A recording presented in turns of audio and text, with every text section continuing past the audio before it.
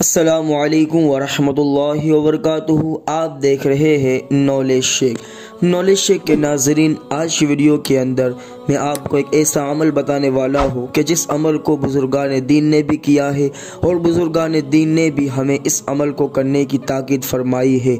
और यह भी फरमाया कि अगर कोई बंदा इस वजीफ़े को कर लेता है तो अल्लाह तबारक ताली उनकी तमाम परेशानियों को दूर फरमाता है और जो भी हाजतें होती हैं, तमन्नाएँ होती है, वो भी इस अमल से पूरी हो जाती है।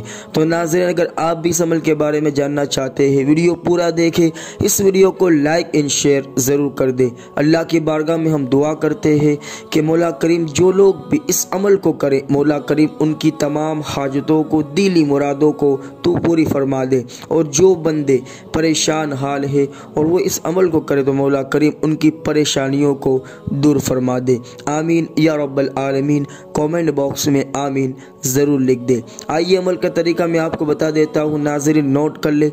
आपको ये जो अमल है, ये दिन में किसी भी वक्त कर लेना है।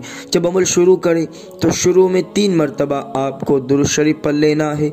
उसके बाद आपको सात सौ छियासी, यानी seven eight six, seven eight six मरतबा। बिसमीम ये आपको पढ़ना है। और आखिर में तीन मरतबा आप दुरुशरीफ पढ़ लें। इस अमल को करने के बाद अल्लाह की बारगाह में आप दुआ करें।